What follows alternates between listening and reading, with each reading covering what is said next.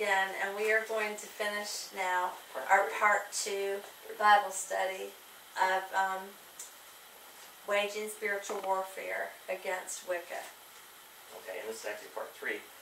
Um, so we were discussing about the various uh, ways that people in Wicca view God. There's duotheism, there's pan, uh, polytheism, then the, um, also there's some that hold to monotheism, which was mentioned uh, a combination of joining in belief in the horn god and the moon god, goddess. Uh, then there's the uh, some Wiccans hold to the worship of pantheism. Uh, they believe that panthe, uh, pantheism teaches that God is in everything, and and in everything there is God. I mean, there's no distinct. According to the uh, Columbia Encyclopedia, quote, there is no nothing separate or distinct from God, for God is the universe. If, on the other hand, the conception taken as the uh, foundation of the systems is that the great inclusive unity is the world itself, or the universe, God is swallowed up in that unity, which may be this designated as nature. So they believe that God is the universe, the Bible distinctly says that in the beginning God created the heavens and the earth. What's in the heavens? The universe. So how can if God is the universe, how did the universe create itself?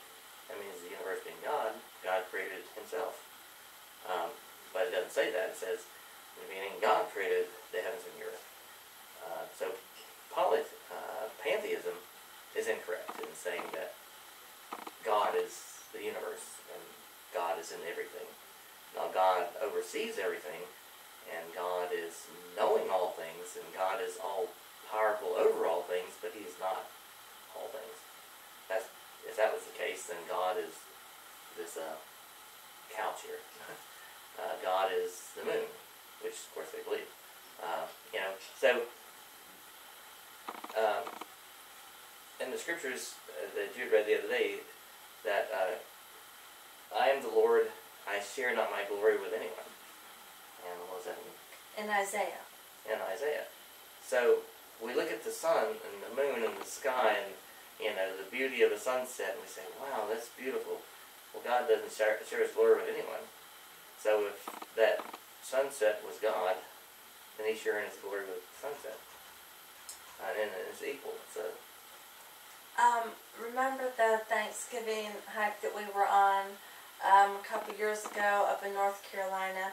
We were taking a family hike to a waterfall there, and um, we were wanting to collect some beautiful fall leaves, and um, we were threatened actually by a park ranger if we picked any leaves that we were going to be arrested.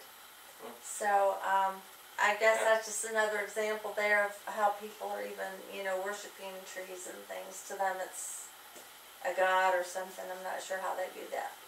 yeah, and um, it's just all putting more emphasis on the creation rather than the creator. Um, you know, you can't touch that rock and move it. You can't take that leaf. Uh, but you can use God's name in vain. That's fine. That's protected speech. Um, so, some Wiccans hold to a universalist belief system of a supernal God and goddess. Um, to the mother goddess, she could be manifested as a, the Germanic um, Istra, or the Hindus Kali. Kali is a uh, statue of a woman, breasted woman with ten arms and all this stuff. You know. um, or the uh, Catholic Mary. You know, the, the Mary and the child, the mother and the child.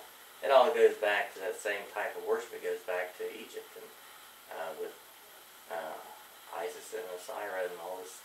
Uh, so this Catholic Mary they're talking about is not the Mary that we know of in the Book of Luke that gave birth to the mother Jesus, uh, the baby Jesus. Uh, this is a, another Mary, like you have other Jesuses um, that are not the true Jesus. Um, so then, meanwhile, the sun god or the horned god can be viewed by some Wiccans as the Celtic um, Cernunnos, or the ancient Greek god Dionysus, Dionysius, or the uh, Judeo-Christian god Yahweh. So there again, it's not the true Mary, or it's not true Yahweh, or, or Jesus, or any of this that they're talking about. They're talking about another one. Um, and then Paul said that there is some that will tell you of another Jesus, and you may follow him and fare well with him.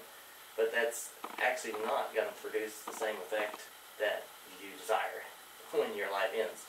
Um, so you have to make sure that that what you're following is the true Creator God, and not one of these manifestations of Satan in the form of these other um, goddesses. Um,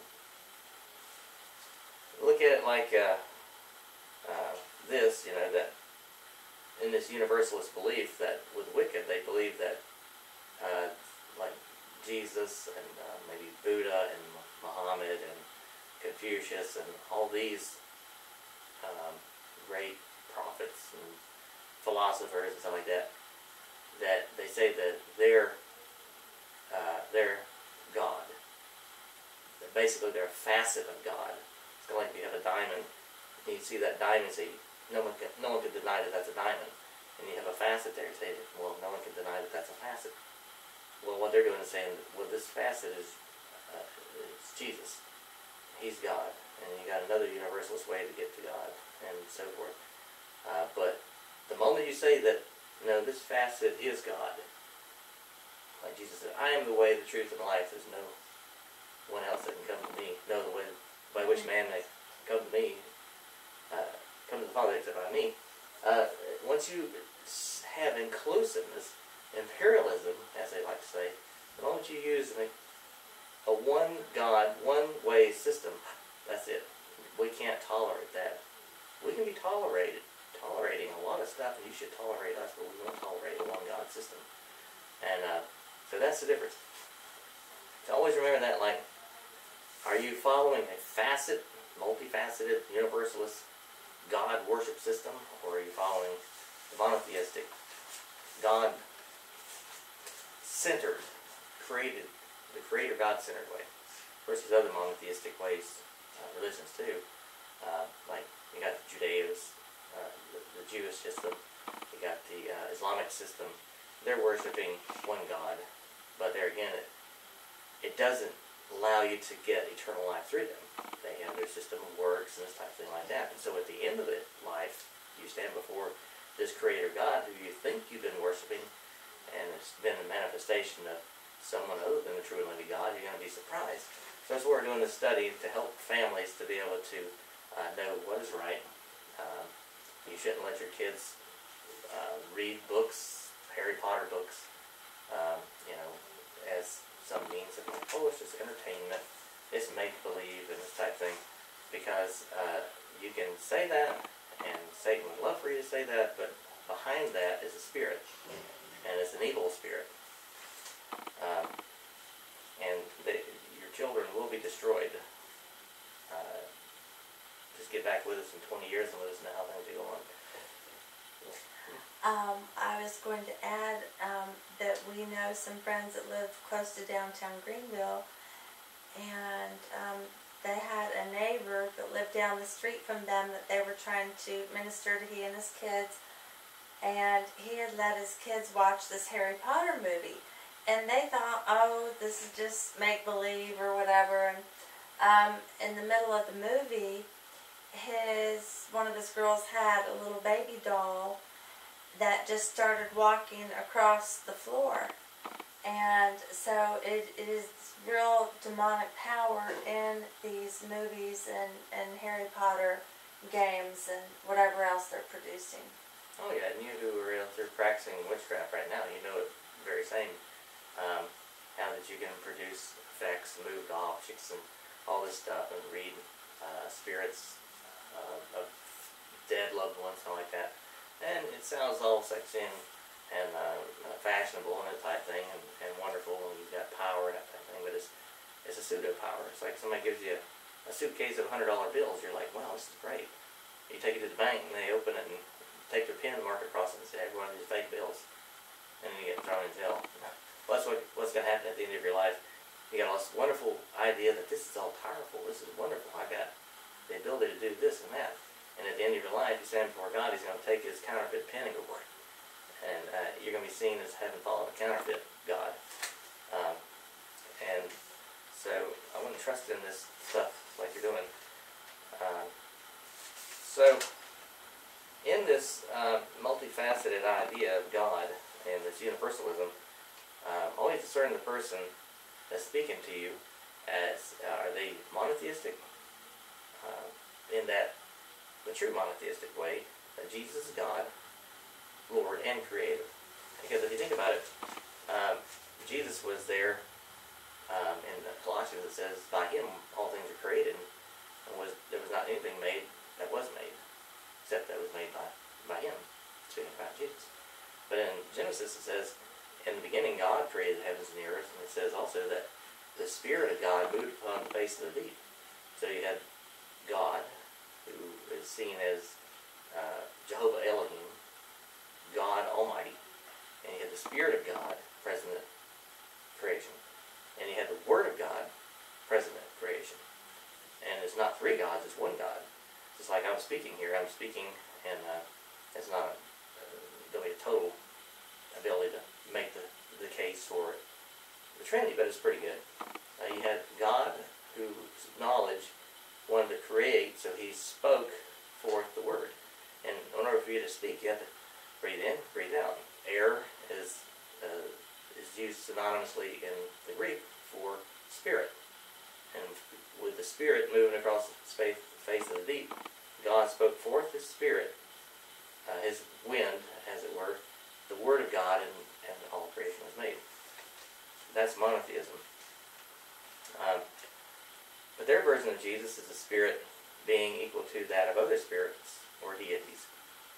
Um, like I had a, a guy, an old guy that um, he was in the Masons, and he said, uh, uh, "I said, do you believe in Jesus? That he's the Son of God?" He says, "Oh yes, he's the Son of God." And I said, "Well, let me ask you, is, is he God?" He said, "No, he's not God. Jesus is not God. He's the Son of God." And I said, "No, you got it wrong." I said, "You'll find out," because he got all upset and everything. I said, "You'll find out when you stand before the grand architect of the universe one day, and he, you find out that uh, you've been uh, rejecting the Son of God as being God Himself." Of course, I use that term loosely with him, the grand architect of the universe, because that's what all Masons and all people in Scottish Rites and, and all these uh, secret organizations you know, do the special handshake and all that stuff. But the fact is, there's nothing secret about it.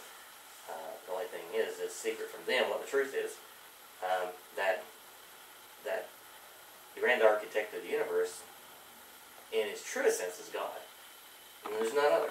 So, uh, but in of course, Masonic order, the same thing built on witchcraft. You look at the, the degrees between witchcraft, the Masonic order, and uh, Mormonism, they all have the same 32 degrees of levels of power and this type of thing, advancing into light, and really advancing into darkness. Like uh, the blasphemous thing about Masonic order is that in the first three degrees, the initiate comes in and stands before the uh, the lodge, the Grand Lodge Master, and, and he's blindfolded and he's asked uh, by the Grand Lodge Master, "What have you come here to seek?" And he's all blindfolded. He's like, "I come to seek light." Well, you don't find light in darkness. You find light in the Word, and the, Holy Spirit enlightens you, and opens up your understanding. Whereas in witchcraft and in uh, masonry and this type of thing, you come to man and ask them for wisdom. Um, what I'm telling you now, you don't have to listen to me. You can get the Bible and find this all out yourself. Um, but whereas in all this hidden stuff, the occult stuff, you have to go to some person like a, a Jane, uh, like this uh, Gardner fella, and Donald Frew, and Margaret Adler, and ask them, what is truth? And they give you truth. But then next week, the truth has changed because nature changes. Um, yes, and to reiterate, um, the scripture here in John eight twelve, it says, Then spake Jesus again unto them, saying, I am the light of the world. He that followeth me shall not walk in darkness, but shall have the light of life. yeah, so when you walk in in darkness, you'll you'll be more confused. If you walk in light, you will have the pathway straight. It's like one time we went to Tennessee, we went toured to a cave, and we got really deep into the cave, and of course they had it lit and everything like that with power and that type thing, electrical lighting. So the woman said, "Okay, we're gonna shut the lights off and and and see what happens." So they turned the lights off, and it's like bam, it's all totally black. You didn't even see your hand in front of your face. And that's the way it is. We think, "Oh, we have light," but the light that we're following after is an artificial light. That wasn't the light of the sun. It was it was an artificial light. And then when we are seeking light from man's wisdom, philosophies, and satanic uh, power and Luciferianism, and that type of thing, it's a fake light. And uh, our pathway will not be lit, uh, as it says in Psalms. Uh, it says that thy word is a lamp unto my feet and a light to my path. And to reiterate the point that um, that when these people they get up into these high levels in the Masonic order, um, most people think there's only 32 degrees in the Masons. But we met a man one day and took his wife to the fabric store, um, who is actually a missionary now in Jerusalem, and he had risen to the 100th degree of being Grand Lodge Master and at that point, he said he had like all these satanic powers, but he said he had no light in his soul and he was very troubled. And um, he was able to get free from the Masons and to get genuinely born again. And when he got saved and he was willing to repent from all that, he said he had four bookshelves full of witchcraft uh, books on how to cast spells and all this kind of stuff. And he took them all out to the backyard and had a big um, bonfire and um, was totally transformed into the light of Jesus from that point on. And now he's a wonderful missionary in Israel. Yeah, so it's bringing back the, the question now: Do you have peace in your whole in your heart right now? This uh, thing that you're searching, will you ever find it? Uh, see, Bible says that they will say peace, peace when there is no peace, and um, Jesus said, "I shall send the Comforter into you." Um, so, are you being comforted in this uh, ever-changing way of the nature of religion? It's just a things that you know you need to ask yourself, and um, truly then uh, um, look into Christianity. Give it a second thought. This type person, uh, we need to ask the person who's denying Jesus, uh, who's in this Wicca, who suspect that, ask them if they have a spirit guide. You know, like there's a woman downtown in Greenville, she has a health food store uh, named Terry. And so a friend of ours was seeing her, uh, and, and she's an herbalist and that type thing. So friend was kind of sick, and so she went to her, and then she sat and asked her um, she was Christian. She said, "Oh, I'm a Christian." And so uh, you know, Terry said that, and so she said, um, uh, "Let me ask you, do you have a spirit guide?" And she says, "Oh yes, I have a spirit guide." And she gave the name, and and it's kind of like her voice changed too when she gave the name of the spirit guide. So um, basically, a spirit guide is none other than a, a devil, uh, fallen angel, and so people communicate with these fallen angels and think that they're, you know, um, doing something great, uh, when really they're talking to a deceiver. Uh, so this person who's like that, blinded by this strange um, um, spirit, um, this strange fire and belief system conjured up by the enemy of, of, of God, and his enemy Satan, um, whose craft must be resisted and rejected in the name of Jesus Christ.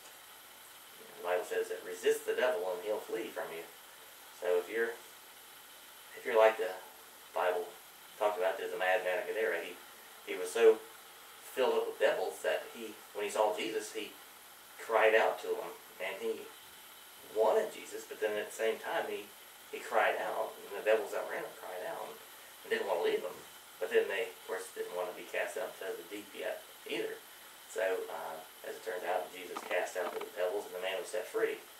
And that's the way you can be. You can be set free if you uh, resist the devil and receive Jesus as your Lord and Savior, and repent of your Wicca and all this stuff. Um, so the next part here, uh, we'll briefly touch on, and we may be running out of time again, but um, Wiccans believe in spirit beings, angels, and or manifestations of God in material nature, who could, quote, be evoked and ritual, unquote.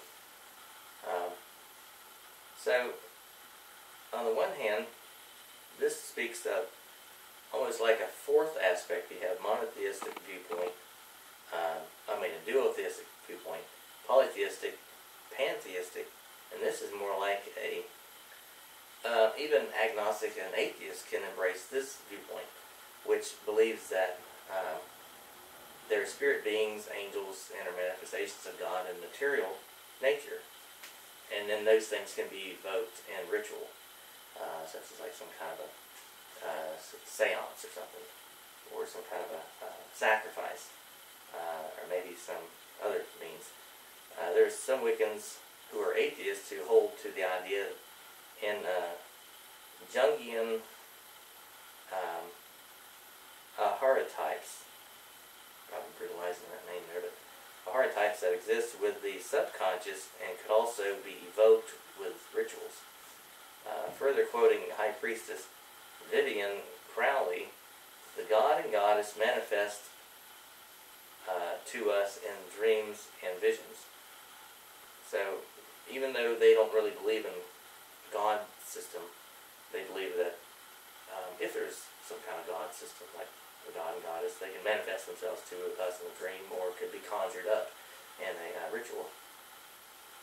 Um, this system here, Jungiism, is also it was formed formulated by a man named Carl Jung.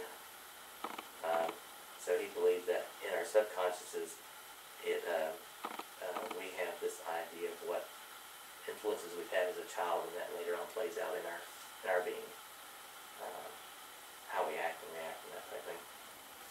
Um, and quoting again Donald Frew, uh, we are, but we are a nature religion, and fundamentals. Uh, the fundamental truth of nature is that everything changes. As I mentioned while ago, so everything's changing. You can have a monotheistic, polytheistic, no religion, and Satan doesn't care. He's going to manifest himself to you, uh, even if you're a stone wall. He, he, he wants to have your allegiance. Um, whereas God said, there, have no other gods before me. And remember what Jesus said in Matthew 7, uh, 13 through 14. Enter ye in at the straight gate, for wide is the gate, and broad is the way that leadeth to destruction, and many there be which go thereat. So you may be on this broad road right now, and you can actually do a U-turn. God allows that, where you turn away from this, turn to the true living God, and come to Him through the way, which is Jesus, and through His shed blood, dying in your place, that type of thing. You can be born again, and and reject and be cleaned of all these devils right now that you may be being plagued by. Um, so I think we're gonna wrap this session up here and begin the next part, which is not too much more. Um, a little bit more elaboration on uh, some of these philosophies of this nature religion Wicca. Thanks. We'll see you in a few. Thank you.